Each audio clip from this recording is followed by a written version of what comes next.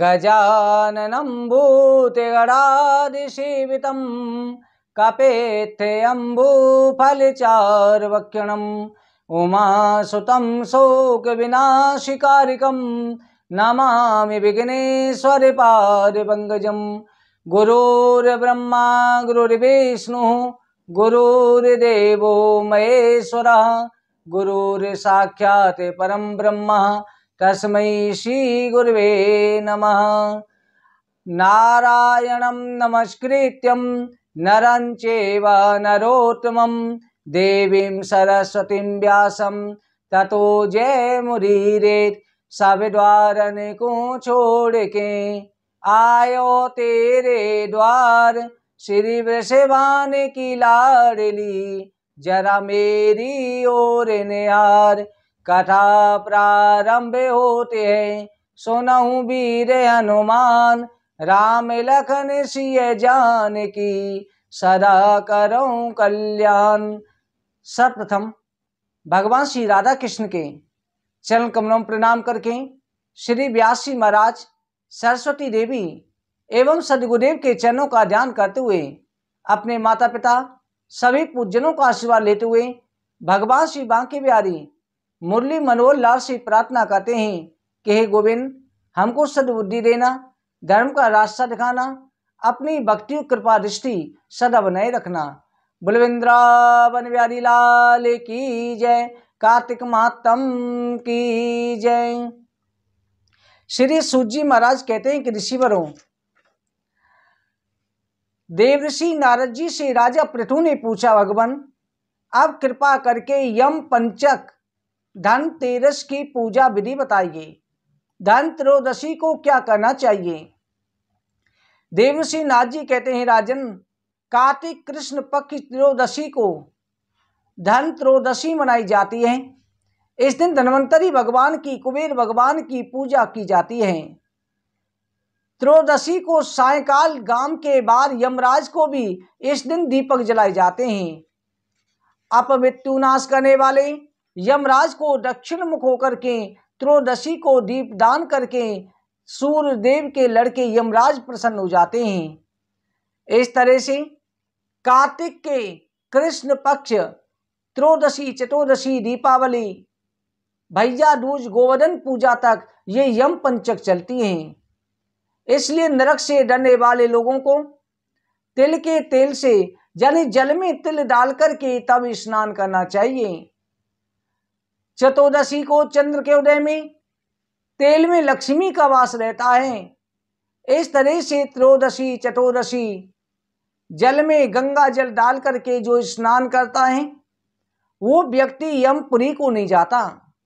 अपामार्ग, दूरवा, चक्र, मदन इनको डाल करके सिर से ऊपर से घुमा करके स्नान करता है।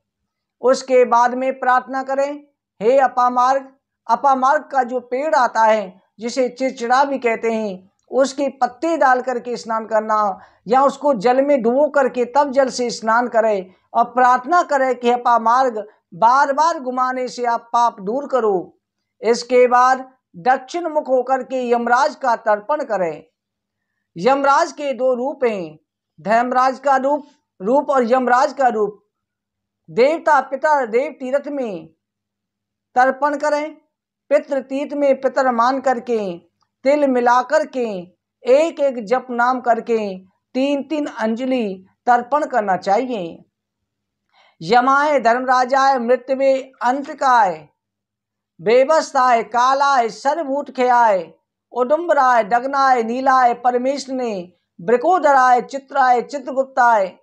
फिर शाम को इस तरह से प्रार्थना करके मनोहर दीप दान करे। ब्रह्मा, विष्णु, शिव, दुर्गा इनके मंदिरों में, अटारी में, चेतन, ग्राम देवता, पुराना वृक्ष, सवा, नदी, दीवार, बावली, गली, समीप का वन, खेत, इन स्थानों में चतुर्दशी को भी दीपदान करें। हथियार से मारे गए पितरों को चतुर्दशी को दीपदान करने से अक्षय फल प्राप्त होता है। इसके बाद में कुआरी कन्या बटुओं को, शिव भक्तों को, तपस्वियों को भोजन करावे तो शिव लोक की प्राप्ति होती है।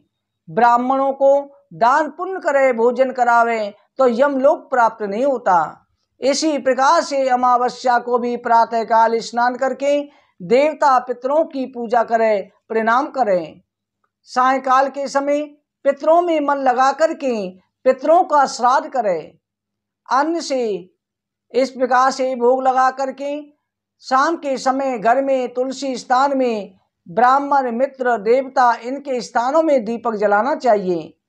चौराहे पर, शमशान में, नदी, पर्वत, गौशाला, इनमें दीप दान करें। फिर सोई हुई लक्ष्मी को जगावे कि तुम ज्योति स्वरूप हो।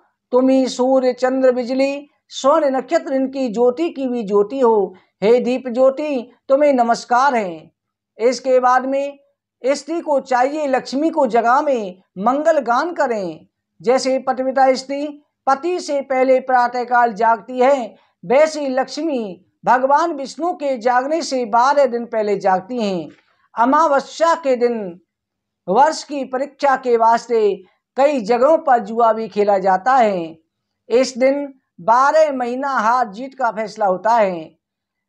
जो लक्ष्मी अमावस्या को दीपावली करे, पूर्णमासी को गौशाला में करे, वो लक्ष्मी को वरदान के भागी होते हैं। लक्ष्मी माता का पूजा करें।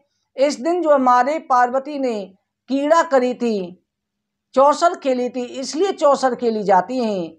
लक्ष्मी के पूजन के प्रभाव से पार्वती जी जीत गई थी। अर्ध रात्रि में लक्ष्मी अमावस्या को घर घर में घूमती है, इसलिए पुरुषों को धूप, दीप आज से मकान की साफ़ सफ़ाई रखनी चाहिए। अनेक प्रकार से मकान को सुशोभित करे, घर में सजावट करे पूजा पाठ करे, नवीन वस्त्र धारण करे, संबंधी भाई बंधु सब जो पूजनीय हैं, उनको जो है भोजन करावे। अमावस्या की रात्रि में जिसके घर में अंधकार रहता है, लक्ष्मी त्याग करती है दरिद्रता आती है। इसलिए यम पंचकों में धनतेरस से लेकर के भैया दूज तक घर में दीपमाला होनी चाहिए। लक्ष्मी का वास कराना चाहिए। इस दिन जो है, कई स्थानों में स्त्रियाँ सूप बजा कर के लक्ष्मी को बुलाती हैं और अलक्ष्मी को शांत करती हैं। लक्ष्मी जी से कहती हैं, तुम्हारी खुशी से हे मातेश्वरी, आप हमारे घर में वास करो। इस तरह से चंचला लक्ष्मी जो है, वो वास करती हैं। आगे भैया दूज पर गोवर्धन पूजा पर बलि पूजन होता है। मथुरा में या दूसरी जगह गोवर्धन बना करके पकवान, अन्न, साग, फल से गोवर्धन की पूजा की जाती है। क्योंकि गोवर्धन महाराज ने जो है, ब्रिज की रक्षा करी थी। भगवान श्री कृष्ण ने गोवर्धन पूजित कराए, इंद्र का अभिमान दूर किया था। गोवर्धन वाले दिन भी गोवर्धन पूजा जो करता है परीक्षणा कहता है। ब्राह्मणों को भोजन करा करके बंधु समेत स्नान करे, गौ की भी पूजा करे तो इंद्र देवताओं से पूजित हो जाता है और लक्ष्मी का वास उसके घर में हो जाता है। इसके बाद में बैलों की भी पूजा करते हैं। हे वृषभ, तुम भी धर्म के स्वरूप हो, हमारी पूजा को स्वीकार करो। इसके बाद ब्राह्मण हवन करते हैं, पूजा पाठ करते हैं। फिर इसके बाद में भैया दूज के दिन यमराज का पूजन होता है। उस दिन जो है, यमराज की पूजा की जाती है। यमराज और यम और यमुना का उस दिन पूजन किया जाता है। इस तरह यम और यमुना का पूजन करने से भगवान श्री यमराज की कृपा से सभी पाप नष्ट हो जाते हैं। इस तरह से धनतेरस के दिन सोना, चांदी, तांबा, पीतल, झाड़ू ये विशेष करके खरीदी जाती हैं। धनतेरस को पाँच दीपक तो ज़रूर जलाने चाहिए। वैसे तेरह दीपक जलाएँ तो ज़्यादा अच्छा है। इनमें वृक्ष के नीचे, चौराहे पर, तुलसी के नीचे, पीपल के नीचे, दक्षिण दिशा को नाली पर, यमराज के नाम से इस तरह से दीपक जलाए जाते हैं। जो इस प्रकार से धन त्रयोदशी को यमराज की पूजा करते हैं, लक्ष्मी और धनवंतरी भगवान और कुबेर का पूजन करते हैं। माता लक्ष्मी की कृपा दृष्टि हमेशा उनके परिवार पर बनी रहती है। भक्तों, आज की कथा कहीं पर विश्राम करते हैं। आज आपको तांबुल नहीं खाने हैं और कल आपको साग नहीं खाना है। हरी सब्ज़ी। बुलविंद्रावन बिहारी लाल की जय। कथा सदा होती रहे। सुनहु वीर हनुमान। राम लखन सिय जान की सरा करो कल्याण सिया पते राम, जय जय राम। बोलो कार्तिक मातम की जय। जय जय श्री राधे, जय जय श्री राधे, जय जय श्री राधे।